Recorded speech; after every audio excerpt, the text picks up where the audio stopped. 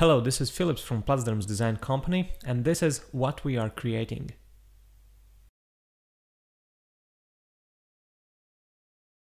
You just saw the end result of this tutorial and you might ask uh, why this is better than other extruded logo tutorials and um, for this one particular there are, um, are a lot of controls how you can control the light and not uh, the light like 3D light put somewhere and uh, I hope you can uh, get the result you're trying to get, but you are actually um, adjusting the result itself and to be honest without the 3D light.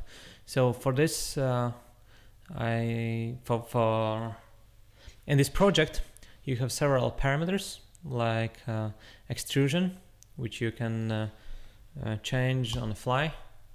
This is how the thin or thick your logo is. And uh, if you want to you can even animate this parameter. Um, well, I uh, leave it like three probably. Um, you have the edge light which is um, let me turn the camera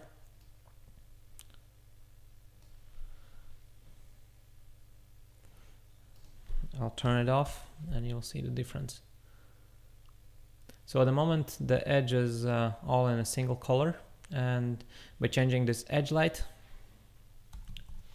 minus 2 you can get an effect that the front side is brighter and the further it goes the darker it gets.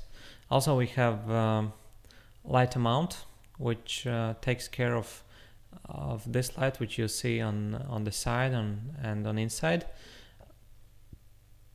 You can uh, turn it off. So it's all dark. Or bring it up to say 6 and you can also change the light angle. You can have your light coming from this side and again you can uh, animate this and uh, and change it. However the best results are when your light is coming straight from the top or straight from the bottom. This looks interesting because top part is quite dark and and then the bottom is bottom is shining